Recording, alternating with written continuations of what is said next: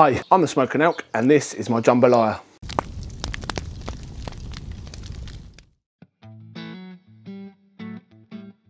One of my all-time favourite dishes. I absolutely love Cajun Creole food. This dish originates from Louisiana. It's a rice-based dish. It's an absolute corker. It's nice and easy to make, so we're going to crack on and show you how we set up the kamado and get cooking.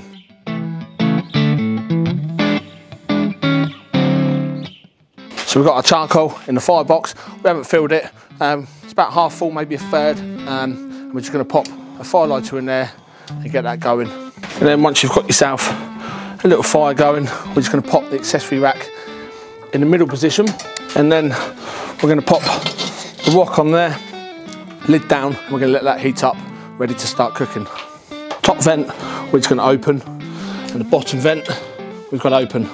So it's been about 10 minutes. Um, we're coming up the temperature nicely. We're at about 240 Fahrenheit, 110, 115 Celsius.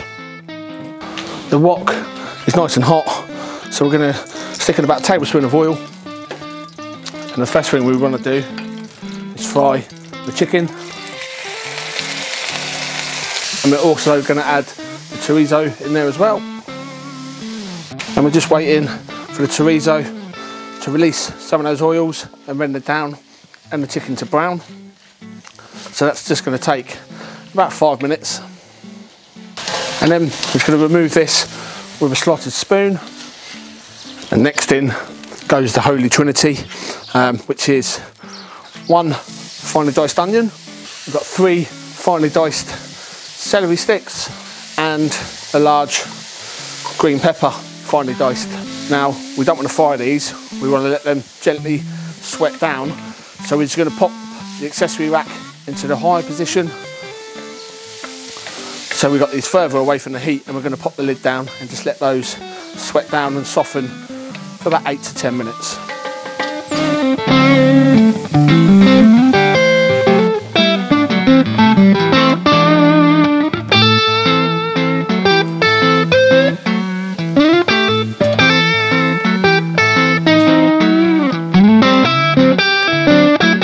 For the rest of this cook, we're just going to close the vent almost all the way and the bottom vent we're going to leave just a smidge open because we don't need it too hot for the rest of the cook now. We're up to temperature, we're sweating down the veggies, happy days. Once you're happy that your veggies are nice and soft, we're just gonna pop that back down again onto the middle position. Just to increase the heat. And now we go in with three cloves of garlic, got about a tablespoon of paprika, teaspoon of thyme, teaspoon of oregano, about half a teaspoon of cayenne pepper and a couple of bay leaves. And we're just going to stir that and cook that down for about 30 seconds or so. And the smells coming off of this as soon as you add the herbs and the spices, it's just incredible. Next in, we've got some diced tomatoes. Uh, you can use tin tomatoes. Uh, these are just some fresh tomatoes that we've skinned and diced. No need to de-seed them. So we're just gonna stick those in, about 400 grams. So we've got a high heat now. We wanna cook those tomatoes down until they start to break down. So probably about five minutes over the higher heat. Next, we're gonna add the chorizo and the chicken back in with all those lovely chorizo juices.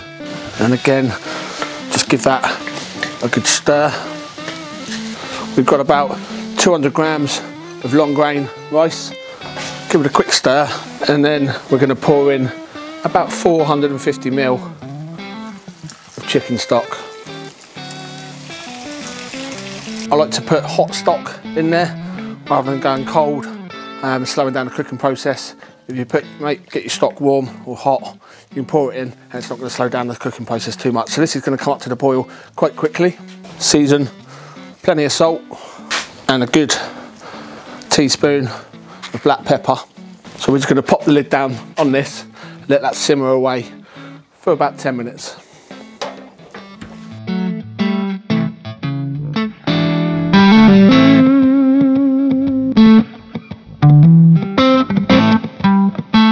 So it's been just over 10 minutes. I'm going to pop the lid up and show you how we're getting on.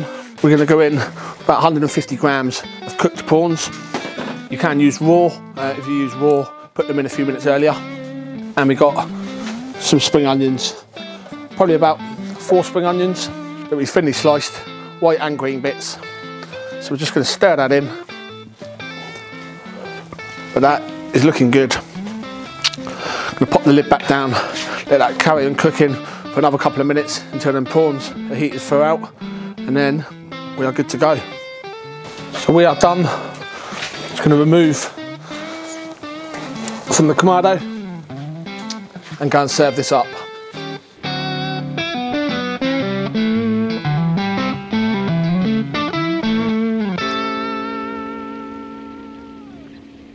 So there we go. There's my jambalaya cooked on the Kamado Joe Classic 3 using the Kamado Joe wok.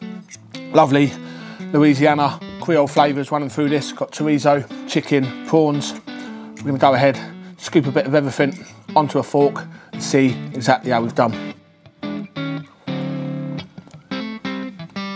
Oh. Honestly, if you've never tried jambalaya or you want to give it another go, give this recipe a try. It's an absolute winner. Thanks for watching. I've been the Smokin' Elk and I'll see you again soon. Happy days.